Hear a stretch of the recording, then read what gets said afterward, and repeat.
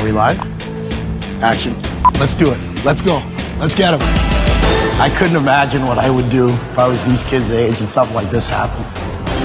Are we going right now? All right, let's go. Burlington Eagles!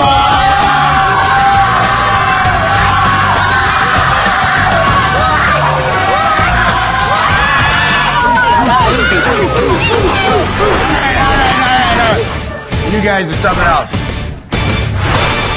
Okay, first of all, why am I here? This has nothing to do with what you do on the ice. This has to do with you guys being great individuals and doing something that's bigger than yourself, that's bigger than the game of hockey, right? My coach is always telling me that nobody wins on their own. They always win as a team. Bye, Mom. Hey, where's my kiss? Bye. All right, boys, we've dropped the bags off. Now we got to go pick them up. Okay, you guys all ready? Put the hands in.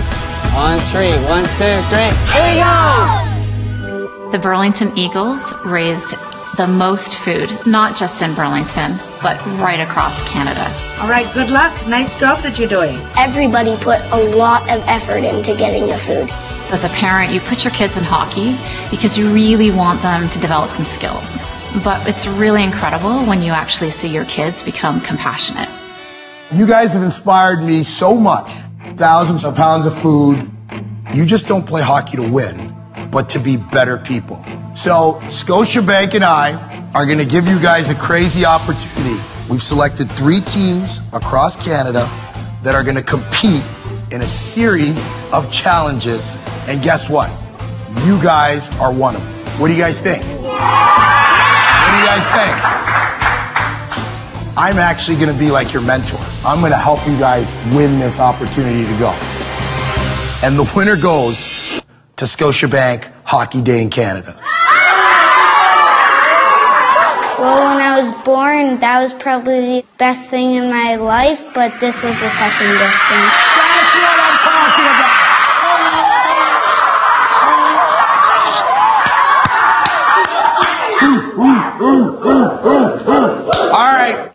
Okay, so three teams. You guys are one of them. Do you want to know who you're up against? Let's go.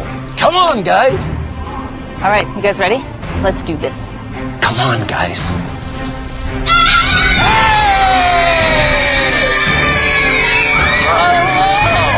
I'm Darcy Tucker, and I'm going to be your host. Our first challenge is